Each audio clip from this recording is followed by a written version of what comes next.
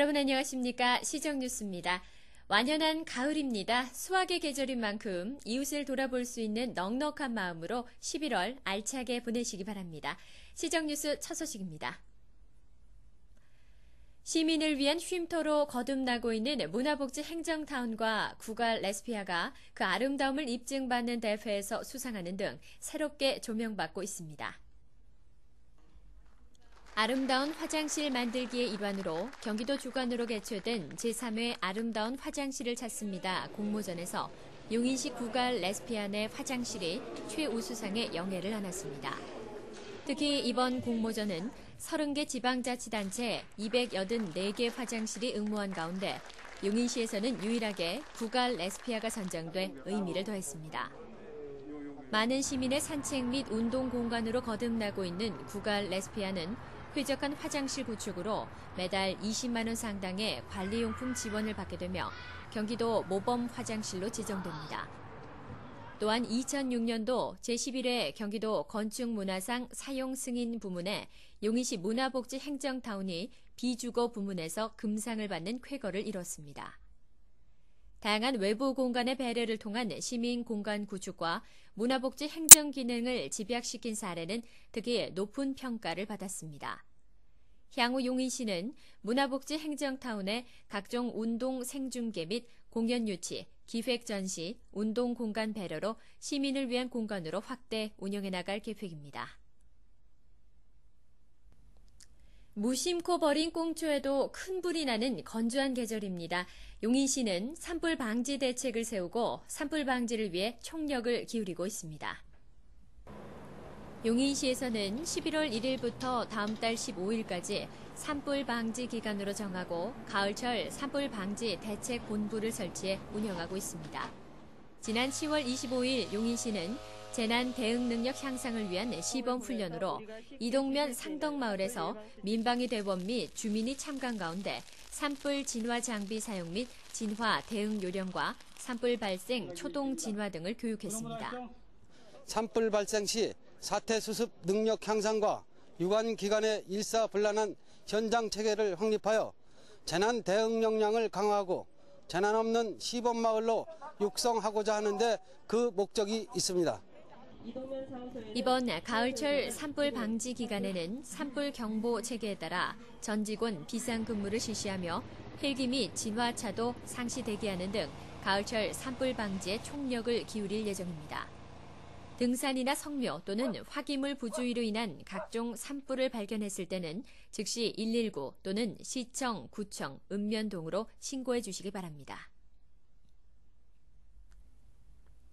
도시 소비자가 친환경 용인 농산물을 싸게 구입할 수 있는 직거래 장터가 용인시에서 활발하게 열려 어려운 농촌에 새로운 활기를 불어넣고 있습니다. 흐뭇하게 찾아온 풍년임에도 농민들이 기쁘지 않은 것은 생산 원가에도 못 미치는 농산물 가격과 외국 농산물 수입에 따른 수입 감소가 아닐까 싶습니다. 농민의 시름이 깊어가는 때에 용인시에서는 농촌 살리기의 일환으로 농산물을 직거래하는 장터가 열려 각광을 받고 있습니다.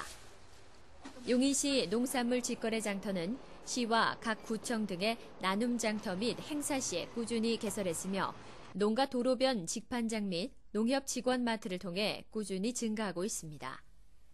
특히 용인시는 2006년 농산물 직거래 목표액을 104% 달성했으며 내년부터는 직거래 장터를 상설화하거나 수확기의 규모를 확대, 또 아파트 단지 순회 등을 함께 추진해 나갈 계획입니다.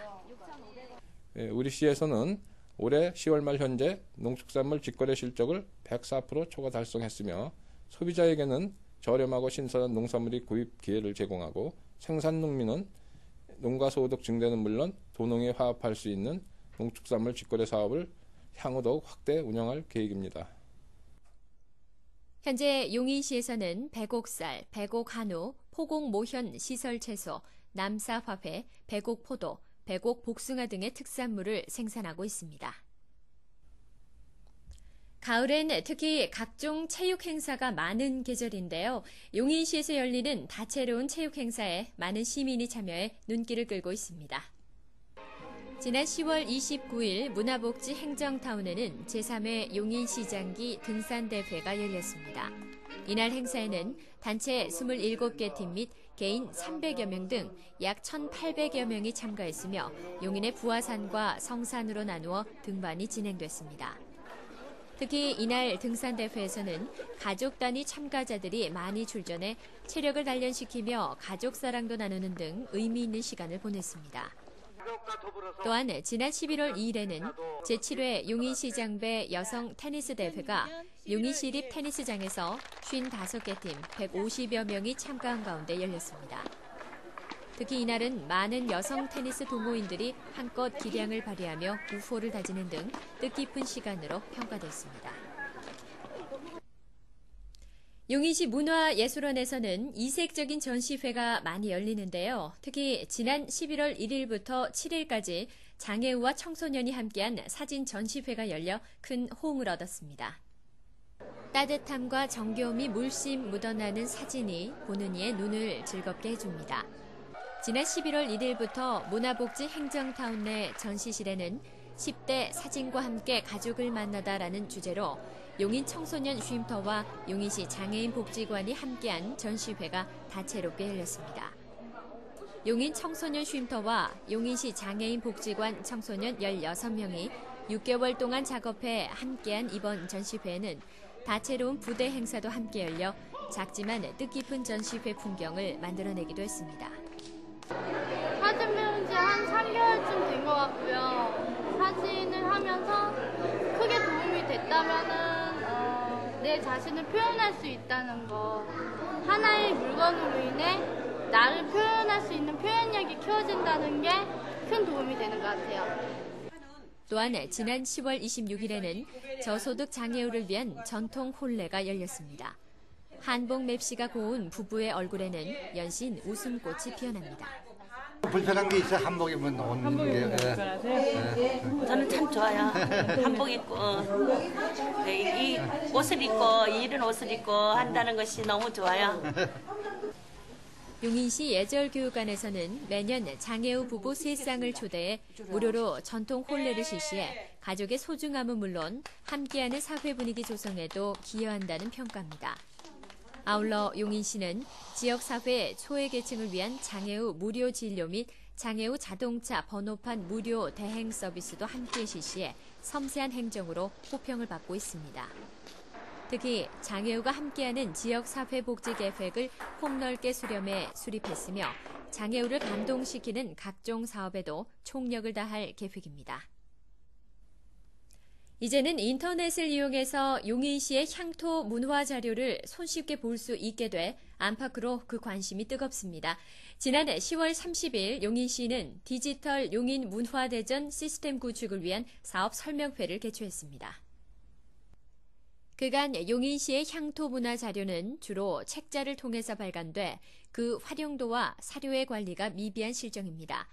청주시나 성남시는 이미 향토 문화 및 보존 가치가 있는 다양한 정보를 디지털화해 주목을 받고 있습니다. 용인시는 용인 고장의 다양한 향토 문화 유적을 정비하기 위해 지난 10월 30일 디지털 용인 문화대전 사업 설명회를 개최했습니다. 이번 디지털 용인 문화대전 사업은 용인의 자연과 지리, 문화유산, 성시와 인물, 민속 등 용인의 각종 향토 자원을 디지털화하는 사업으로 2008년 완료할 예정입니다. 향토 문화란 용인 사람들의 시 공간적 삶의 발자취이기 때문에 온라인으로 쉽게 그 접근성을 높이는 일이야말로 시기 적절한 사업으로 용인 향토 문화 보존 및 발전에 크게 기여할 것이라는 평가입니다. 추수절을 맞아 농민들의 손길이 더욱 분주한데요. 올가을 우리 밥상에 올라 입맛을 돋우고 있는 백옥살을 손미 리포터가 찾아가 봤습니다.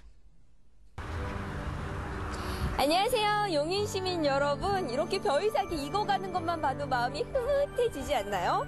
그래서 저는 오늘 용인시의 자랑 백옥살을 만나볼까 합니다. 그럼 지금부터 저와 함께 가보시죠.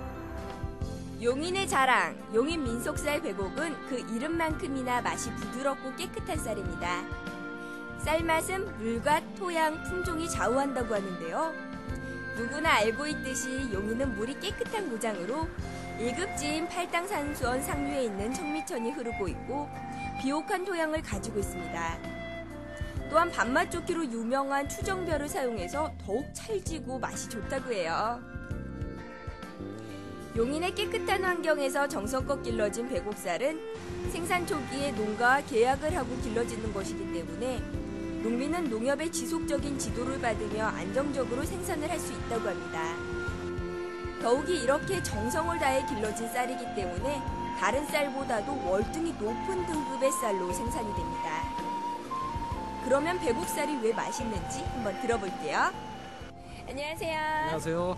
배곡살 좋다는 얘기 많이 들었거든요. 어떤 쌀인지 소개 좀 해주세요. 어, 백옥쌀은 한강의 상류에 위치한 용인에서 생산되는 쌀로서 어, 땅이 기름지고 품종이 아주 우수한 추청벼로만 재배를 하고 있습니다.